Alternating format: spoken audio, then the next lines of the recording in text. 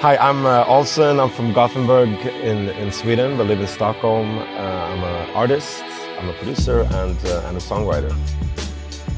I've been doing music since I was a kid. I'm a, I'm a, I started playing piano when I was like five or something, and, and been writing and producing for me and, and for other artists for the last maybe 20 years.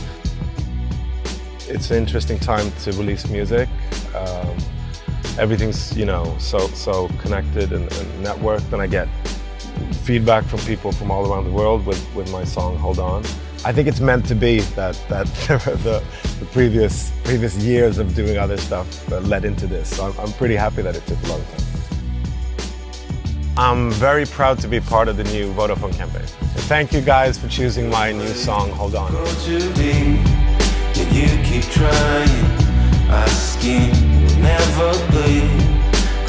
Don't buy it. One shot from your pistol, every word's a dagger. The story behind Hold On is really that it, it was something that just had to come out, I think. I didn't think about it, I just wrote it and it felt supernatural. So I think, I mean, for me, it's, it's a struggle, battle, power song. And I think I was definitely in, in the mode at that time to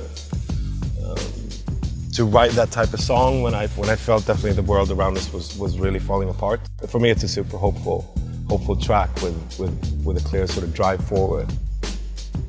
I could definitely be nervous before concerts, and I and I love it so much. But um, yeah, it's a strange feeling. I feel like I'm a you know teenager again when I go on stage. I've played for 20,000 people, and I played for 20 people. I like the connection with the audience. I think it's super important. I'm a pretty extrovert artist live, so so for me the connection is, is the most important and, and not the amount of people.